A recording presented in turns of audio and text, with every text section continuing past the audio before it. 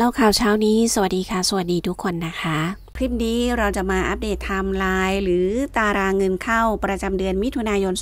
2566 กันนะคะ ว่ามีรายการอะไรบ้างสำหรับสวัสดิการต่างๆ ในเดือนนี้กันนะคะ และก่อนไปรับชมรายละเอียดอย่าลืมส่งกำลังใจให้แอดด้วยกันกดไลค์กดแชร์กดติดตาม เล่าข่าวเช้านี้เพื่ออัปเดตข่าวสารใหม่ ๆ ด้วยกันที่นี่ทุกวันไม่มีวันหยุดนะคะ ไปเริ่มกันที่ทุกวันที่หนึ่งของเดือนสำหรับสวัสดิการแห่งรัฐนะคะ ที่โอนจ่ายผ่านบัตรประจำตัวประชาชนแบบอเนกประสงค์นะคะ ทุกวันที่หนึ่งของเดือนนะคะ ก็จะมีเงินซื้อสินค้าอุปโภคบริโภค 300 บาทต่อคนต่อเดือนนะคะ ก็จะมีซื้อสินค้าอุปโภคบริโภคทั่วไป และเติมก๊าซสำหรับช่วง 3 เดือน ใครที่ยังไม่ใช้สิทธิ์นะคะ ในช่วงระยะเวลา 3 เดือนก็จะใช้สิทธิ์ได้ 1 ครั้งคือ 80 บาทนะคะสำหรับร้านค้าที่ร่วมรายการนะคะ ต่อไปก็จะเป็นเงินค่าโดยสารหรือค่าเดินทางสำหรับขนส่งสาธารณะคนละ 750 บาทนะคะ นี่คือสำหรับวันที่ 1 ที่จะโอนเข้าบัตรประจำตัวประชาชนสำหรับสิทธิสวัสดิการแห่งรัฐนะคะสำหรับผู้ที่จะได้รับสิทธิ์ในวันที่ 1 มิถุนายนสำหรับบัตรสวัสดิการแห่งรัฐนะคะ ที่ยืนยันตัวตนช่วง 27 เมษายนจนถึง 26 พฤษภาคม จะเริ่มใช้สิทธิ์ได้ในวันที่ 1 มิถุนายนเป็นต้นไปนะคะ และก็จะได้รับสิทธิ์ย้อนหลัง 3 เดือน คือเมษายน พฤษภาคม และมิถุนายนรวมเป็น 900 บาทนะคะ และทุกวันที่ 9 ของเดือนนะคะ ก็จะเป็นโอนเงินกลุ่มเปราะบาง ผู้สูงอายุ ตั้งแต่ 600 ถึง 1,000 บาทแบบขั้นบันได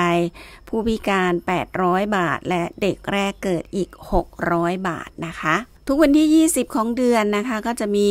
เงินผู้พิการที่จะโอนเข้าสำหรับผู้ที่ลงทะเบียน และผูกพร้อมเพย์ไว้กับธนาคารนะคะ แล้ววันที่ 12 ของเดือนนะคะ จะเป็นการประกาศผล ตรวจสอบผลการอุทธรณ์ของบัตรสวัสดิการแห่งรัฐสำหรับใครที่ยื่นอุทธรณ์ไว้นะคะ จะประกาศผลในวันที่ 12 มิถุนายน 2566 ไปทุกวันที่ 20 ของเดือนนะคะ จะเป็นเงินเบี้ย ผู้พิการ 200 บาท จะโอนผ่านบัญชีพร้อมเพย์ที่ผูกกับบัตรประชาชนนะคะ และในส่วนของสวัสดิการใหม่สำหรับรัฐบาลใหม่นะคะ ที่ยังคงอยู่ระหว่างการดำเนินการจัดตั้งรัฐบาลใหม่อยู่นะคะ ในช่วงหนึ่งปีแรกหลังจัดตั้งรัฐบาลแล้วนะคะ ก็จะมีสวัสดิการที่จะปรับเพิ่มขึ้นนะคะ อันดับแรกก็จะเป็นของขวัญแรกเกิด 3,000 บาทเงินเด็กเล็ก 1,200 บาทต่อเดือน ผู้สูงอายุปรับเป็น 1,200 บาทต่อเดือน ผู้พิการก็จะปรับเป็น 1,200 บาทต่อเดือน อ่า นี่เป็นเพียงการเพิ่มขึ้นในปีแรก และจะทยอยเพิ่มไม่จนถึง 3,000 บาทต่อเดือน ภายใน 4 ปีนะคะ เพราะฉะนั้นที่ประกาศว่าจะเพิ่มให้เท่านั้นเท่านี้ ยังต้องผ่านกระบวนการหลาย ๆ ขั้นตอนก่อนที่จะ ปรับเพิ่มที่แน่ ๆก็คือรอจัดตั้งรัฐบาลใหม่ก่อนนะคะ และในปีนี้ไม่ทันแน่นอนนะคะ